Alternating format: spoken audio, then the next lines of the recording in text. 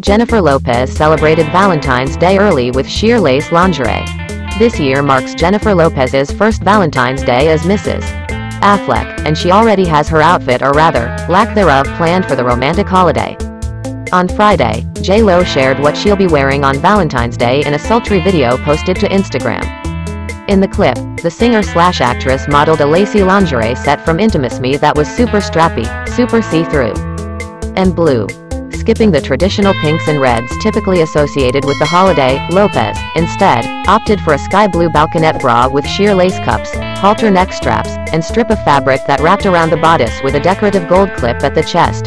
Her high-rise bottoms also featured crisscrossing straps that climbed up her waist, as well as mesh paneling. J-Lo accessorized with a white silk robe draped below her shoulders and a blue moonstone necklace to match.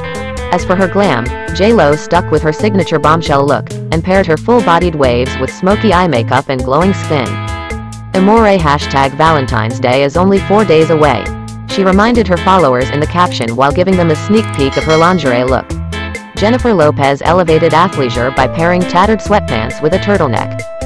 Back in April 2022, J-Lo and Ben Affleck got engaged for a second time, after splitting almost two decades prior. Within a few months of their engagement, they got married during an intimate Las Vegas ceremony, which was followed by a lavish wedding at Affleck's Georgia estate in August. In a recent interview with Today, Lopez said 2022 was her best year since welcoming her twins Emma and Max. We moved in together, the kids moved in together, so it's been like a really kind of emotional transition, Lopez said. But at the same time, all your dreams coming true, it's just been a phenomenal year. She added, best year, I think, since my kids were born. For more InStyle news, make sure to sign up for our newsletter. Read the original article on InStyle. That's how we present this content. Don't forget to like, comment, share and subscribe. For the support of our viewers, thank you.